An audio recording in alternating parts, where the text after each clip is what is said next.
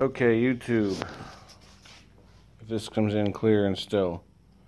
Some of you may know what this machine is. For others, this is a Wisconsin powered Kohler energy plant.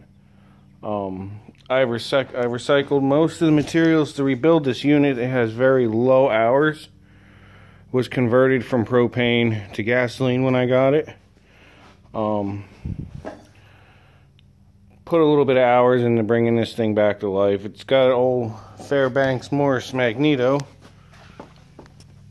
If you can see that. Um,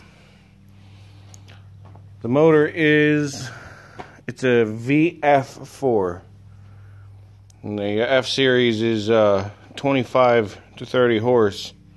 The H series, which I have one over here, is 30 to 36 or 32 horse. I'm not 100% on all that.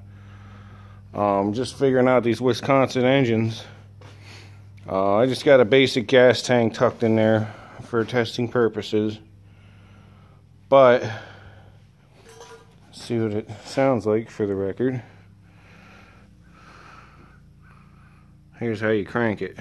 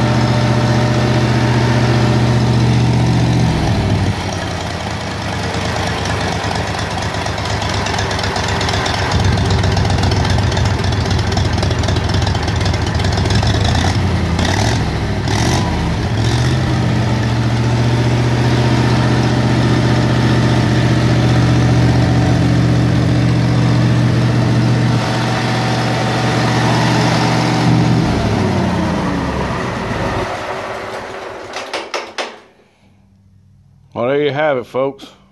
Uh, I guess you got a little bit of what I've been playing with lately between work and being a daddy. So, alright, uh, throw me some comments and some likes or something. Try and shoot some more videos. Later, guys.